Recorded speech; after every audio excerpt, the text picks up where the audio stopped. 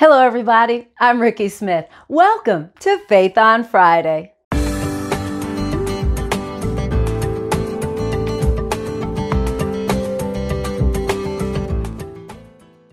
In Greek mythology, the Hydra was a serpent like water monster with poisoned breath, acid blood, and nine heads.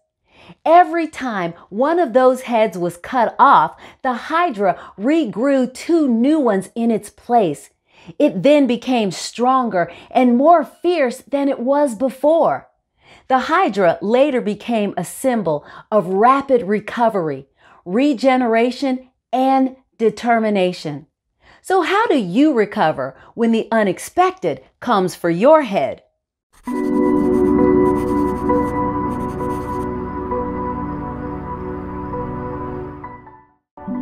A fragile person cannot handle high levels of change or uncertainty. They may be riding high this day, but as soon as that season is over and the relationship ends, or they didn't get the job, or anything unexpected shows up, that person is reduced to tears, to anger, bitterness, and isolation. But someone who is anti fragile, you know, the one who not only comes back quickly, but comes back stronger and more determined than ever, that person will never be stopped.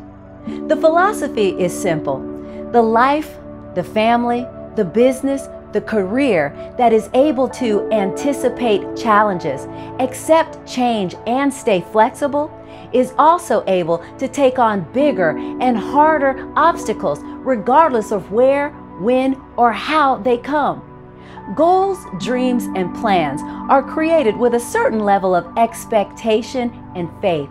Don't allow anything at all to falter just because of adversity.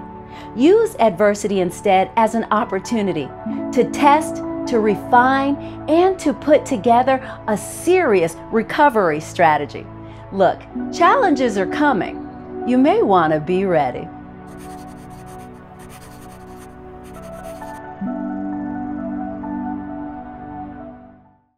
Thanks everybody for watching and thanks so much for sharing the video.